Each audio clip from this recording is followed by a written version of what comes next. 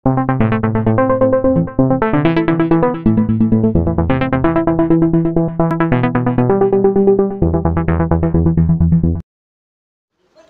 Student पिछली video में हमने हरिवंश राय बच्चन जी की पहली रचना के बारे में पढ़ा था, जिसका नाम था आत्म परिचय अब इस रचना, इस वीडियो में हम इनकी दूसरी रचना, जो निशा निमंत्रण से ली गई है, दिन जल्दी जल्दी ढलता है, शीर्षक पढ़ेंगे। आइए हम शुरुआत करते हैं। हो जाए ना पथ में रात कहीं, मंजिल भी तो है दूर नहीं। यह सोच थका दिन का पंथी भी जल्दी जल्दी चलता है, दिन जल्दी जल्दी ढलता है। कभी हरिवंश राय बच्चन जी कहते हैं कि एक राही जो होता है, एक पंथी जो होता है, वो अपने मंजिल तक पहुँचने के लिए कैसे चलता है, कितनी यातनाएँ करता है, उसी के बारे में यहाँ ये बता रहे हैं। कहते हैं, हो जाए ना पथ में रात कहीं। एक राही बटोही जो होता है, वो जब अपने मंजिल के करीब होता है, तब यह सोचता है कि कहीं चलते चलते रास्ते में रात ना हो जाए, अंधेरा ना हो जाए। मंजिल भी तो है दूर नहीं, और हमारी मंजिल, जहाँ हमको जाना है, पहुँचना है, वो अब ज़्यादा दूर नहीं रह गई अर्थात हमको जल्दी ही चलना चाहिए, अपनी रफ्तार को तेज बनानी चाहिए।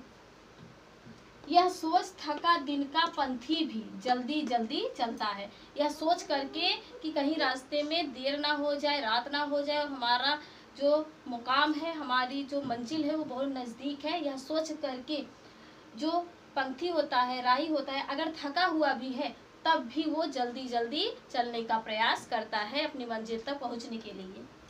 दिन जल्दी जल्दी ढलता है। और ये दिन अपनी रफ्तार में जल्दी जल्दी ढल रहा है, ढल रहा है, चल रहा है। कभी दूसरी रचना में क्या कहते हैं? बच्चे प्रत्याशा में होंगे। यह इन्होंने एक चिड़िया के बारे में बताया है, एक पक्षी के बारे में बताया है कि एक पक्षी कैसे अपना जीवन यापन करती है? तो वही बता रहे हैं, बच्चे प्रत्याशा में होंगे, नीड़ों से झाँक रहे होंगे। यह ध्यान परों में चिड़ियों के भरता कितनी चंचलता है? दिन जल्दी जल्दी ढलता है। शाम जब होती है, संध्या का समय होता है, उस समय जब चिड़िया उड़ने के लिए बाहर दूर तक निकल जाती है, उस समय उसके दिमाग में क्या चलता है, वो सोचती है कि उसके बच्चे बच्चे प्रत्याशा में होंगे, नीड़ों से झाँक रहे होंगे। उसके बच्चे जो है, ये उम्मीद लगाकर बैठे होंगे और अपने नीड़ों से मतलब अपने घरों में से झाँक रहे होंगे, अपने घोंसले में से झाँक रहे होंगे कि उनकी माँ आ रही है। या ध्यान परोस में चिड़िया के भरता कितनी चल चलता। यह ध्यान करके, यह सोच करके जो चिड़िया है, दूर कहीं उड़ान भर रही है, वह यह सोच करके उसके परों में, उसके पंखों में और भी ज़्यादा फुर्ती आ जाती है, चंचलता आ जाती है कि उसके बच्चे घरों में उसकी उम्मीद लिए झाँक रहे होंगे, देख रहे होंगे कि उनकी माँ आ रही होगी। दिन जल्दी जल्दी ढलता है। कभी कहते हैं कि यह दिन जो है, जल्दी जल्दी ढल रहा है, अपनी रफ्तार में चल रहा है।